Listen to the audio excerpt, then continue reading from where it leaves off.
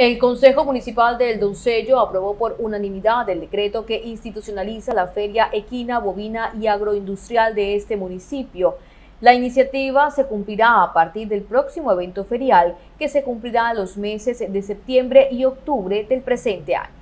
El Consejo del Municipio del Doncello aprobó el proyecto que institucionaliza la Feria Bovina, Equina y Agroindustrial de esta localidad de la zona norte. Cordial saludo para la comunidad del municipio del Doncello. Hoy aquí en nuestro honorable Consejo Municipal por unanimidad quedó aprobado un proyecto de acuerdo que presentó esta administración para institucionalizar la feria agroindustrial, ganadera y equina en nuestro municipio. Es una oportunidad que tenemos nosotros como administración para tocar puertas ante el gobierno departamental y nacional, para ayudar a cofinanciar esta feria, para que nuestra feria cada día, cada año sea mucho más atractiva poder de pronto en un mañana, en un futuro no muy lejano, pensar en una feria graduada a igual nivel de la de Florencia, traer turistas, traer comercio, reactivación económica y apoyar el comercio local, apoyar nuestros ganaderos, apoyar nuestros eh, caballistas, apoyar en la totalidad de la reactivación económica de nuestro municipio. El burgomaestre indicó que la institucionalización de la feria comienza a implementarse a partir de este año en el evento ferial que se realizará del 30 de septiembre al 2 de octubre.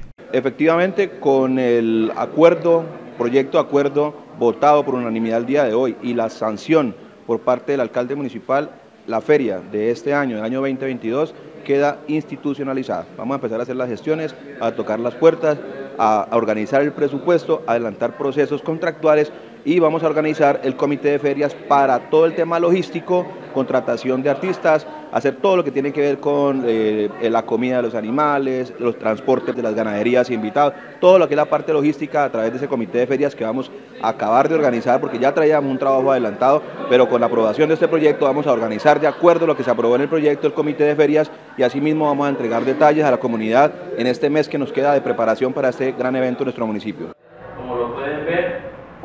por, unanimidad del Consejo Municipal, el proyecto de acuerdo número 010 pasa a sanción del señor alcalde para convertirse en proyecto de acuerdo.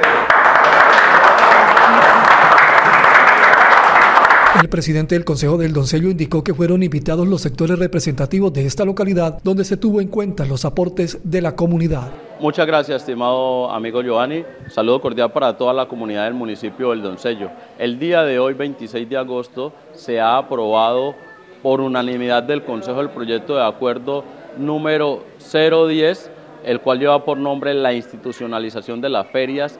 equinas, bovinas y agroindustrial aquí en el municipio del Doncello. Quiero aclararle a la comunidad que esta corporación, en marco de sus obligaciones constitucionales, ha hecho un estudio oficioso, responsable de dicha iniciativa y en tres sesiones de comisión se estudió los componentes básicos de este proyecto en conjunto con el señor alcalde y sus tres secretarías. De igual manera, se le hizo la invitación previa a todos los sectores representativos de nuestra comunidad, el sector religioso, los ganaderos, los caballistas, el sector ambiental, los campesinos, el sector agropecuario, comerciantes y profesionales de nuestro municipio, donde el Consejo tuvo muy en cuenta las proposiciones y los aportes hechos por los integrantes de la comunidad para posteriormente dar un debate responsable en beneficio de nuestro municipio. Hoy tenemos el parte de tranquilidad de que esta corporación ha dado viable esta iniciativa para la institucionalización de la feria.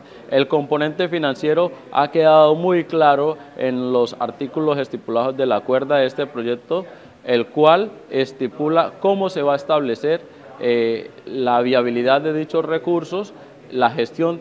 de igual manera de ellos y el seguimiento que va a estar a cargo de un comité proferias creado por representantes de todos los sectores poblacionales de nuestro territorio.